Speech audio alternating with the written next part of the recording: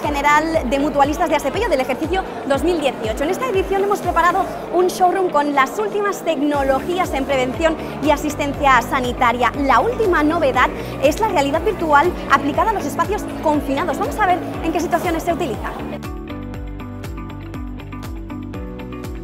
¿En qué espacios es útil la realidad virtual? Pues en estos casos los utilizamos, por ejemplo, para reflejar una caída en altura o para bajar una cloaca, que es un espacio confinado.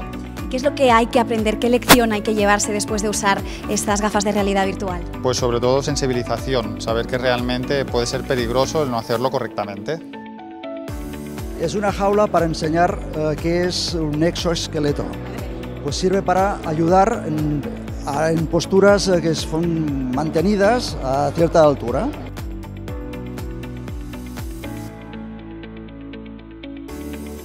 Pues llevo el Virtual Ergonomics, que está compuesto por estos sensores que llevo por diferentes partes del cuerpo. Entonces se trata de ver mm, la imagen de lo que estoy haciendo, lo que está haciendo la persona que lleva los sensores y el avatar.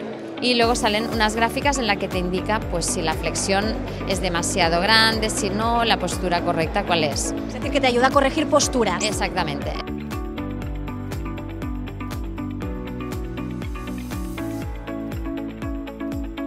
Pasamos a las últimas novedades en asistencia sanitaria. Aquí tenemos una plataforma, explícanos para qué sirve. Pues mira, eh, habitualmente en las salas de fisioterapia se trabaja todo lo que es extremidad inferior, tobillo y pie eh, con, eh, y rodilla con este plato, ¿vale? pero hemos innovado y hemos, disponemos de esta plataforma propioceptiva para, eh, con control a través de APP y nos permite que el paciente pueda trabajar gamificadamente, es decir, con juegos, para poder eh, rehabilitarse de manera más divertida, más amena, empoderar al paciente en el proceso rehabilitador. Después de las pruebas en el showroom empieza la Junta General de Mutualistas de este ejercicio 2018.